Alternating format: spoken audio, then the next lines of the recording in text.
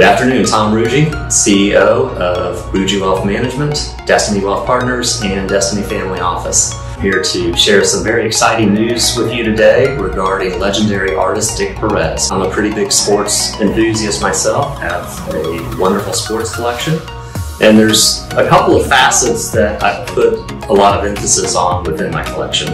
The first is autographed baseball cards, but the second is original artwork. Dick Perez happens to be one of my favorite personal artists. In fact, I have 33 of his original pieces of art, several of which are behind me on the wall here. As my newest addition, which I have not taken the time yet to hang up. I was contacted by a film producer named Marq Evans, who is working on a documentary for Dick Perez. Given the opportunity, I have decided to become a, an honorary co-producer for the documentary. I'm really excited about it. So one thing I'd love for you to do is to follow what we're doing on social media. I'll keep you updated with the progress and look very excited to the end product that will cement the ongoing legacy of one of the world's greatest sports artists, Dick Perez.